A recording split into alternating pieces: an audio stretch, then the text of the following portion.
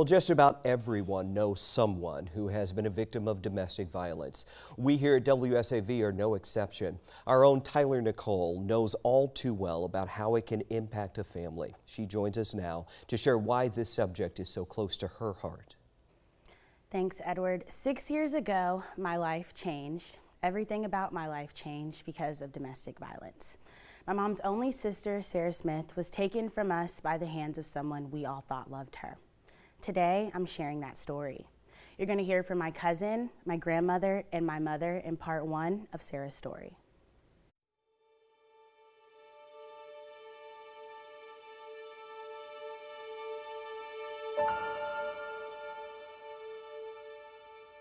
When you see Sarah, you see love. Sarah Marie Smith was born on September 1st, 1969, in Rembert, South Carolina, to Willie Mae Razor and Thomas Smith. She's the third born of six children, and like her mom said, to know Sarah was to know love. When they say uh, people are loved by everyone, she was one of those people that was truly loved by everyone. Everyone in the church loved her. Everyone at her job loved her. Uh, we all loved her. All of her in-laws loved her. All of the guys just loved her. They always thought she was a, a, a guy's gal because she loved to play uh, play sports. She loved cards. She liked talking trash with the boys. So, you know, she was just a wonderful, wonderful person.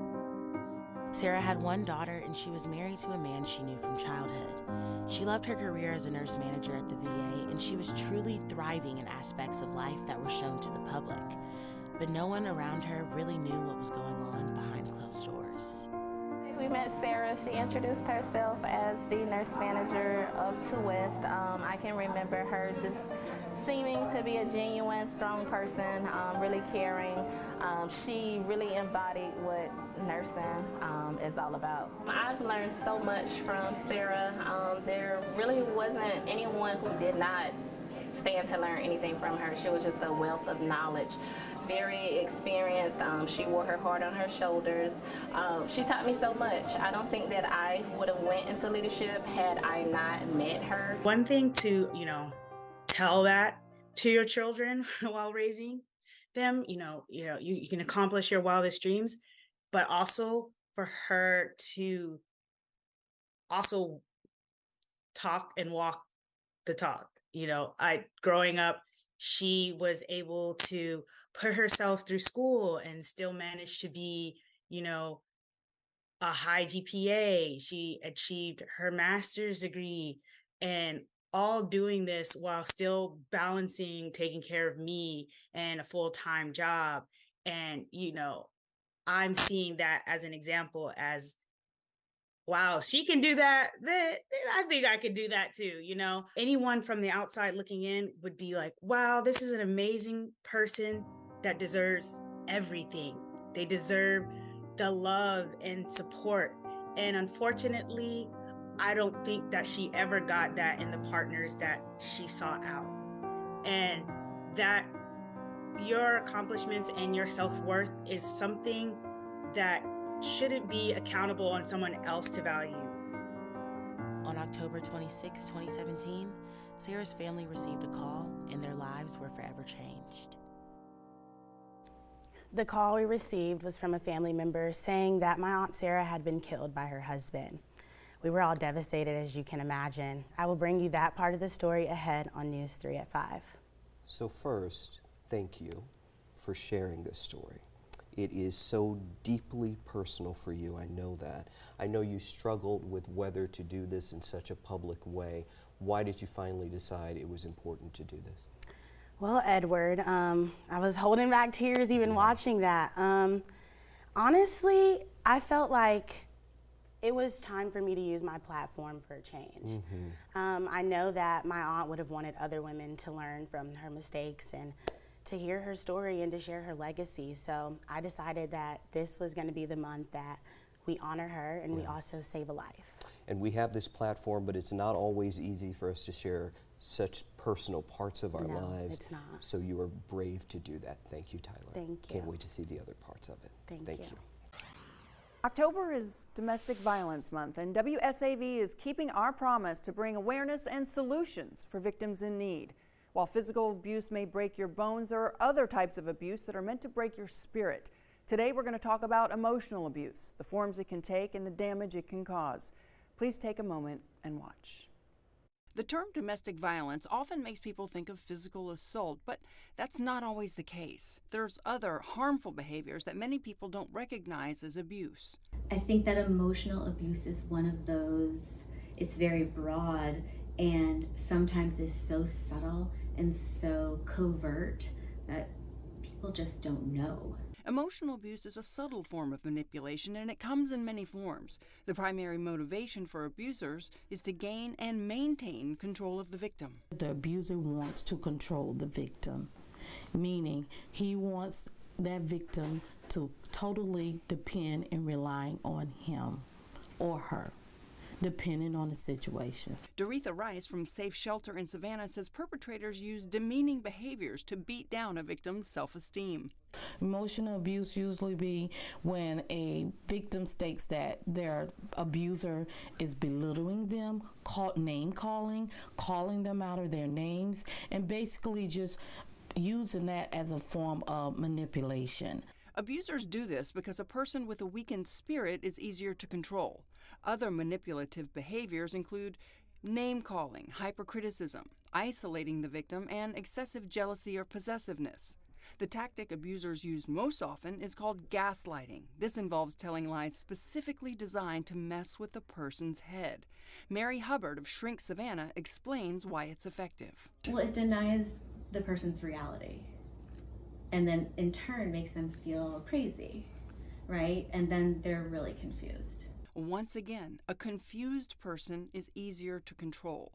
Victims may begin to slowly develop feelings of shame, hopelessness, and fear. They may be in denial that they're being abused or think they can deal with it.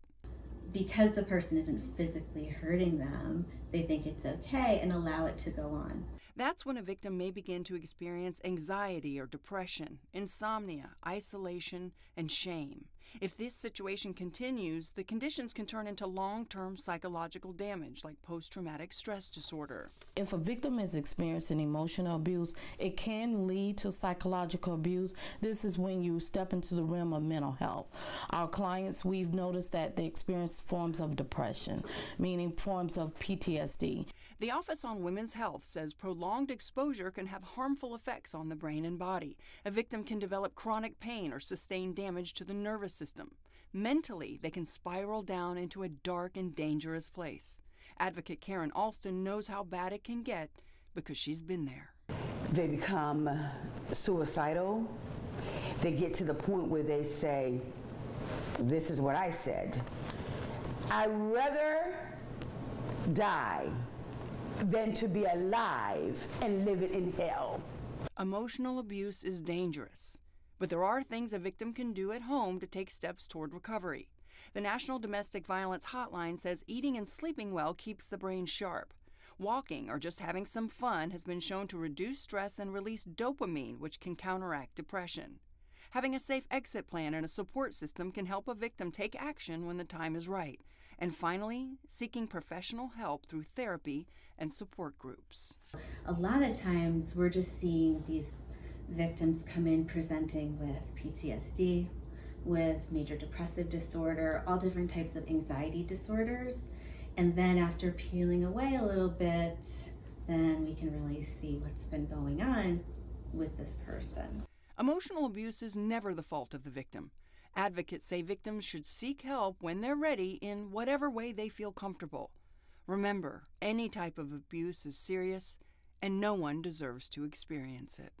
There is hope and there is there are people that believe you and want to genuinely help you be safe.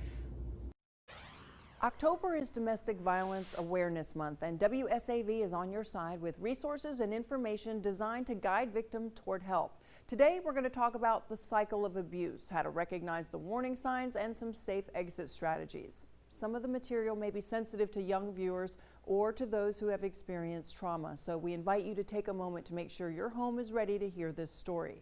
It's a difficult topic, but it could mean the difference between life and death for someone who's in trouble. Please watch. Hurt people, hurt people. That old adage may explain the cycle of abuse, but it doesn't excuse it. According to the National Domestic Violence Hotline, 24 people per minute are victims of abuse by an intimate partner, but many people are unclear of what domestic violence is, nor do they understand the risks. It can possibly get real bad. A victim can definitely be hurt or killed by their abuser. The cycle of abuse can often start with a child who witnesses violence in the home, according to advocate Karen Alston. It can harm their emotional, their psychological, and social development.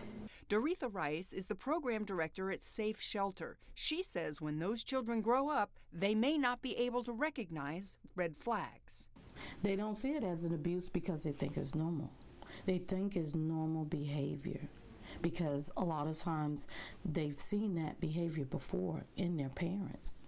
She told me abuse starts off small and then grows. If a woman is pushed, if a woman is constantly being yelled at and it doesn't stop, then she's entering into the cycle of abuse. That's the tension stage, and then the physical stage will occur. Once the abuse sets in, many women don't want their family, friends, coworkers, or church members to know what's going on. Victims often remain silent. They're isolated from their family and friends. And that's one form of power and control. That's when the abuser has power and control over the victim Loved ones may know what's going on, but often they just don't know what to do. And we don't want our loved person, our loved ones, to go through it. So we're just like, why don't you just leave? Shannon Bates with Safe Shelter says rather than offering advice, the best thing to do is listen and be ready to act when needed. They can be there as a resource to say, I understand what you're going through. You may or may not be ready to leave, but I'm here to listen and, I, and I'm here to help when you need me. Many people simply don't understand why women stay in toxic relationships. It can be for a number of reasons. It can be for the children, it can be for love, it can be for financial reasons. It really just depends on the victim it takes a victim up to seven times to finally decide to leave her abuser. When that time does come, it's important to have a safe exit strategy. So we have checklists of things you can put in an emergency bag, of documentation you might want to gather together. Um, and I, so I think I would just be developing that plan. What are your resources going to look like? Are you going to have transportation? What will your kids need? Do you have your medications? Those sorts of things. She needs to also have a second cell phone for safety as well. If things become dangerous, the police are there to help. Chief Jeff Hadley of the Chatham County Police Department says officers are trained to spot signs of violence. They even have a lethality screening to determine how likely a victim is to be killed by her abuser. Is there any damage in the house? Does it look like there was a scuffle, uh, fist through a wall, fist through a door, things, things you know, knocked over, things of that nature? Um, you're going to look for um, how the uh, alleged victim, you know, behaves. Um, are they sheepish? Will they not answer your questions? If you or someone you know is in danger, make a call. There are resources. Help is available. When you're ready, Stop the cycle of abuse before it affects the next generation. You are not alone. And there is a community that cares about you, that want you to be safe, and also your children, if you have children. That all you have to do is pick up the phone and call. It's true, we've all heard the term control freak, and usually it's kind of used in jest, but this morning we're going to take a look at how it applies to domestic violence. It's a critical part of the pattern of abuse and one that's the least talked about.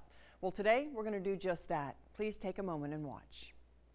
The United States Justice Department defines domestic violence as a pattern of abusive behavior that's used to gain or maintain power and control over another. Abuse happens to people of all races, ages, genders, and religions, regardless of socioeconomic or educational backgrounds. Chief Hadley of the Chatham County Police Department also points out it's not limited to intimate partners. And domestic violence can also uh, be, you know, an elderly mother and a young son. It could be uh, sibling to sibling. It can be anybody that lives or has lived in the same domicile. To better illustrate how violence works, the United Nations created this power and control wheel, showing a pattern of behaviors that aren't always identified as abuse, but firmly establish a pattern of intimidation and control. We're going to walk through some of those right now.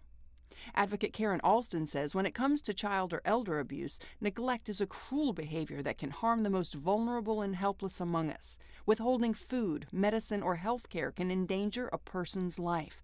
She encourages friends and neighbors to check on senior citizens and believe what they tell you. And when they say that something is not right, don't always think it's dementia or something's going on in their mind. If they're saying that somebody is beating them, not changing them, not feeding them, red flag. Another subtle form of control is financial abuse. This is when the perpetrator hypermanages household money to the point of limiting the victim's freedom. This is used to keep them from having outside relationships, um, even something as simple as a friend asking them for coffee. They know they can't do that without asking permission and asking for money um, it's a source of embarrassment, and so oftentimes they they turn down those invitations, and so it starts to isolate the ab- abused um, person in that relationship.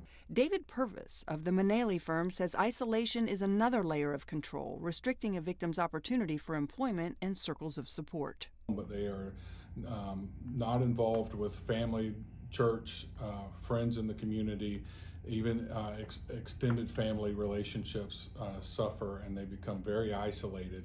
And typically, if there's financial abuse, there's additional abuse going on. There's gaslighting, there's emotional abuse, there may be physical abuse. But the, just because there's not physical abuse doesn't mean there aren't other forms of abuse going on inside that home. Other ways to intimidate a victim is to threaten their parental rights, employment, or immigration status. Perpetrators will often minimize their behavior or blame shift as a way to gaslight the victim into a perpetual state of denial. That allows the abuse to continue. Well, victims need to know when they're ready, there are resources and services standing by to help you take back control of your life. So I would encourage anyone to uh, get connected with Safe Shelter, get connected with the services that are there for them because they're going to be extremely helpful in that process. And we do have some of those resources here for you or someone that you may care about if they're in a dangerous situation. If it's an emergency, call 911, full stop. For a safe escape plan, you can contact Safe Shelter in Savannah, Safe Haven in Statesboro or Walterboro, and Hopeful Horizons, which serves counties across the Low Country. The National Domestic Violence Hotline is 800 799 7233. And remember, abuse is never the fault of the victim and help is available. Resources are always on our website, wsav.com slash domestic violence.